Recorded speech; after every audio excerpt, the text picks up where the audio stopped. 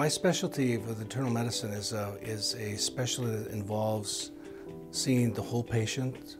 I uh, have chosen infectious disease as part of my subspecialty because it has to do a lot with managing disease from an infection standpoint and different, um, knowing especially internal medicine as far as like different organ systems, but also knowing how an infection um, interacts with those systems. We had many opportunities of looking in the, in the state of Wisconsin from where we came from. And we looked at many different health systems and I was impressed with the leadership as well as the direction of, of the health system, Prevea a health system. Of all the systems we've looked at, the system has the best idea and the best goal and the best vision for care of this community. My family, I was originally born in uh, California.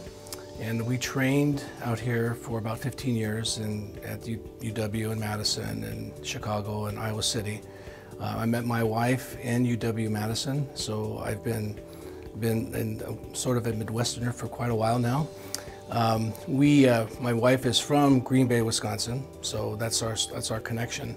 And um, we have uh, two children now that are, I, to call them children is really probably not accurate. They're actually men and they are uh, one's uh, working in in uh, in the film industry. The other one works as is actually not working. He's a college student.